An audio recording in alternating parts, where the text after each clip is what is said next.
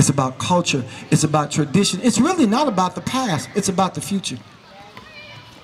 For those who, who you know, we can talk about the past. You can't change the past. But you can alter the future. This is really about the future. It's really not. It's about these young folk. All of them over here playing basketball and not understanding a word we say. It's really about them. All of them over there playing basketball and not understanding a word that we're saying. I'm talking about all of them playing basketball and not understanding what we are saying over here. That's what this is about. Yeah, they're not here because they don't know. They don't understand the history.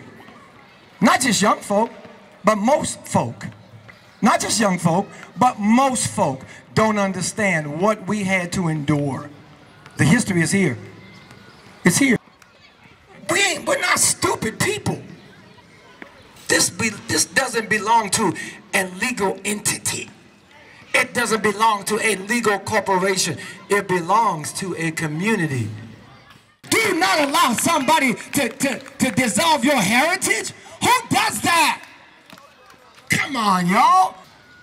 And I told somebody the other day, they said, well, you know what? It's about Burgundy. I said, no, it's not. The NCC has never been just about families Burgundy. that benefited from the NCC.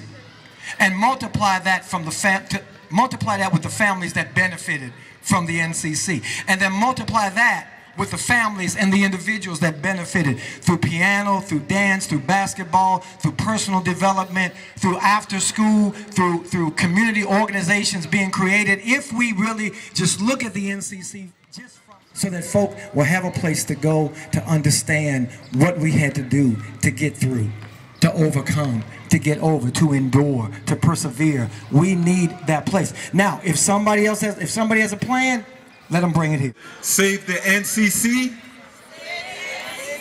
Save the NCC.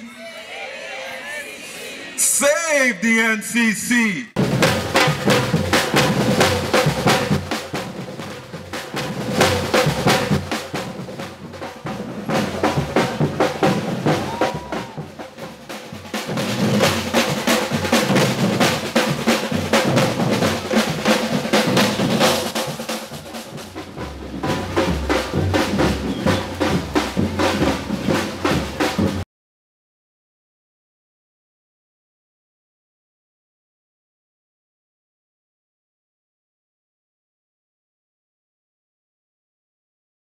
It has an enormous symbolism for the community, the black community of Greater Montreal, for the citizens and the community you see in Burgundy right now.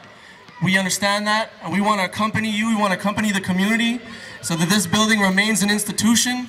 We don't want it to see, to see it to be condos, we want it to see an institution for the community. When I want to go and have an evening reading black history books, I go to NCC. Whatever they have, I was there. Even though I'm working two jobs, I know my children were safe. So today, on behalf of the coalition, which I'm a founding member, we always had NCC as part of our program to revitalize it. And we ask in the community at large please join together in peace and love and unity. I used to come and eat my dinner here because we live too far. Now, I remember this building before it was the NCC. And I used to come down here and play basketball. We had fun in this building. And it should never, I mean never, should be taken away. And a lot of people have passed through them doors. I remember Mrs. and Mr. Clyke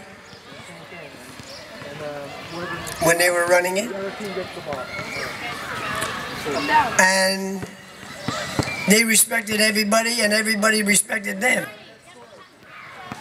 Now from the bottom floor to the top floor, there was activities. lunch, movies. The second floor had, like everybody says, music. They had a stage up there. Third floor. You had something happening up on the third floor, which was the game room. And on up at the top was every floor had something that was for the children. That the NCC actually started as an idea since 1927 in the basement of the Union United Church. The idea of the NCC was to help the social and economic issues and needs and um, wants of the black community. The NCC stands for a lot of things, but what, but to name a few, it stands for the spirit, the determination, identity, pride, integrity, and integrity that has shaped the Montreal black community. A lot of people that have benefited past, present, and hopefully in the future from the NCC.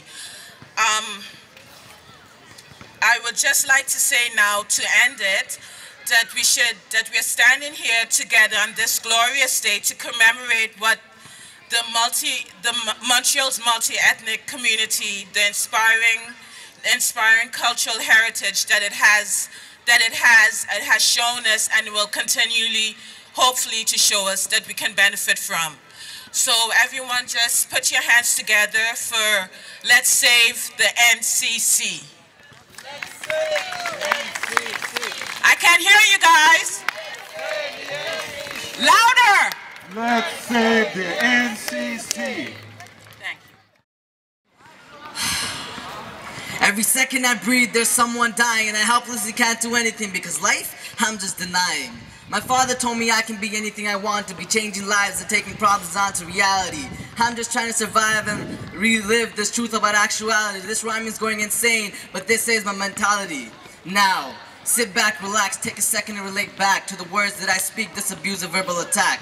See, this is meant to be. Standing on stage, sitting down, listening as we age. Time flies by and thoughts wander on my page. Workers and teachers and fighters and preachers working hard at minimum wage. They are the creators of our future leaders. We, not me, are the future leaders. So get yourself up and move because I believe to improve. Every day is a struggle contemplating to pursue my goals. Open these eyes and watch reality unfold. In between all these cracks, cuz I'm just leaving these gaps behind me, trying to forget the past. I'm just walking around speaking these thoughts that are just bound to be spoken and these gates are open to fantasies that are broken and hopeless to leave others unspoken this motive is devotion clustered up with emotion so much pain and regret leaves me frozen inside lot of places that we go to, I find that I'm on stages and a lot of places that we go to where we are standing here together in unification, trying to make sure we can preserve what we should not have to fight to preserve for in the first place. And it happens all the time,